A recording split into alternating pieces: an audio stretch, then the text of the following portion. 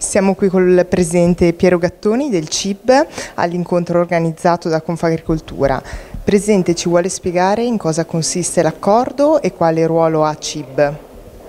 L'accordo consiste nella costruzione di un coordinamento fra eh, le principali realtà industriali impegnate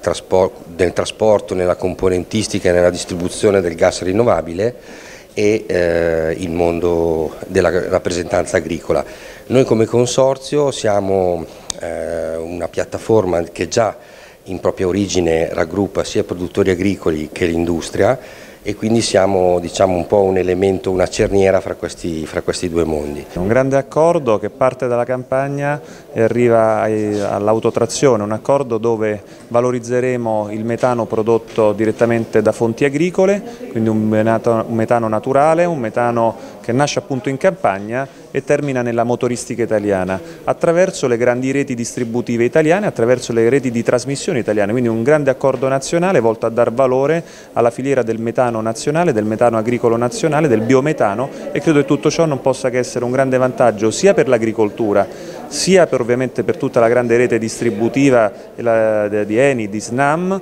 e sia anche a tutta la parte motoristica, quindi un grande successo dell'Italia. Carlo Lambro, amministratore delegato di New Holland. New Holland ha un accordo chiave in questa, in questa appunto, giornata perché appunto essendo produttore di macchinari agricoli ed essendo all'avanguardia alla ricerca di quelle che sono le energie alternative per la trazione, noi abbiamo sempre sviluppato quello che noi abbiamo chiamato il Clean Energy Leader Concept, quindi essere leader nel concetto delle energie alternative e oggi vediamo un, un, un risultato concreto eh, che porterà o può portare nei prossimi anni a un utilizzo di mezzi, in particolare trattrici agricole, alimentate o a metano o a biometano. Per quanto riguarda le macchine New Holland, qualche anticipazione? Ma, eh, anticipazioni che, che, penso che gli addetti al settore, anche gli agricoltori, i nostri clienti hanno, hanno avuto il piacere di vedere anche recentemente all'EIMA a novembre a Bologna dove fra l'altro abbiamo festeggiato i 100 anni di Fiat, Fiat Trattori eh, anticipazioni che sono, sono, concrete, parliamo di, di, un mezzo, di un mezzo eh, che noi chiamiamo della gamma media, un, un, T6 a 160 cavalli,